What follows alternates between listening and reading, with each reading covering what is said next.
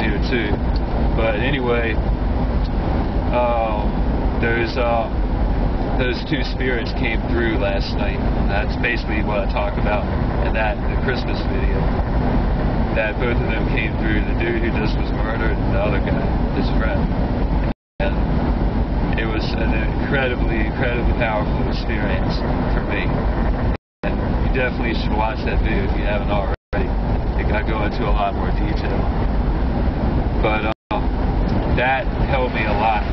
It, it helped me so much. To, it kind of healed me because I felt so bad about what, writing that at that moment. And it really healed me. They were really good teachers, and they are. And I, I appreciate everything. I appreciate, appreciate, appreciate them coming through so, so much.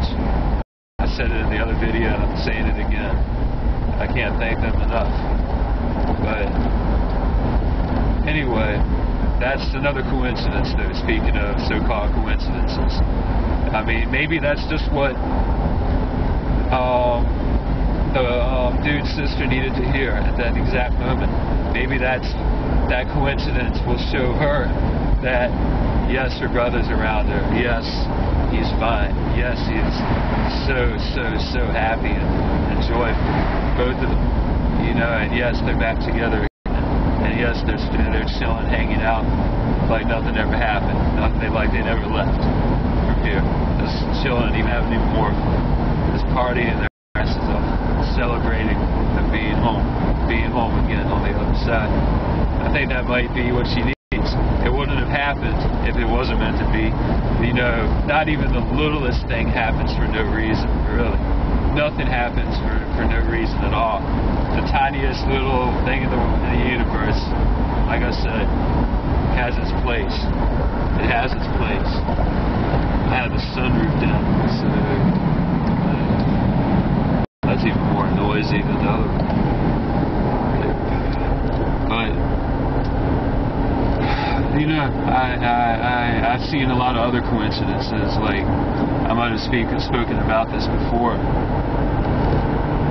That, um, you know, I, I've seen streetlights turning on and off as I ask yes and no questions of a spirit, lights going on and off as I ask questions about themselves. I, um, I've been thinking about somebody and then their favorite song comes on the radio at the exact moment I thought about them. That's another non-coincidence. Um, meeting the friend of, um, I just thought of another spirit that's come through before that, that brought a coincidence. This was in 2003. And uh, spring of 2003. I just, I haven't thought about it since then, but I, um, you know, somebody was murdered in, in Northside. And um, next, a couple days later, I'm over there right where it happened, hanging out with a friend of mine.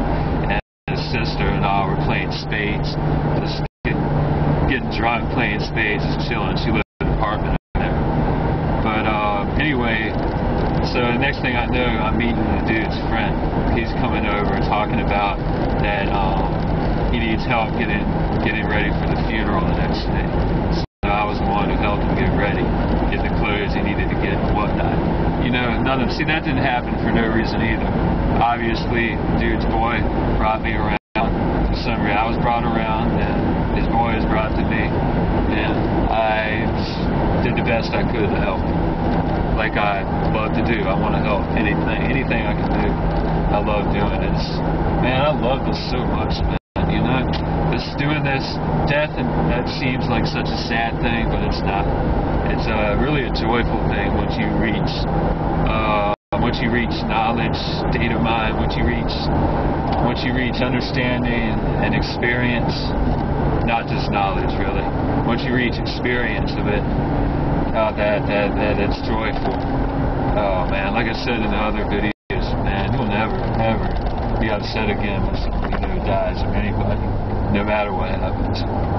You know, you'll never lose your cool. And uh, in fact, well, I don't know, you might lose your cool and joy. You know, you might throw a party for them. You know, that's probably the the best you can. That's a good thing you can do for them. So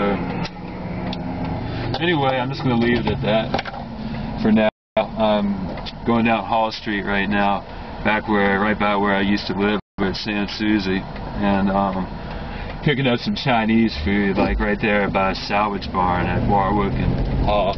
I forgot what that place is called, but I always used to go there. Lot of people go there, and uh, they got some good good food and um, cheap too. So good prices, that's for sure. I was just in the mood for that today. I don't know why. I kept thinking of it, so I don't feel like cooking anything up right now. Anyway, I'm to leave it at that, and uh, might be back with you later. So, as always, peace.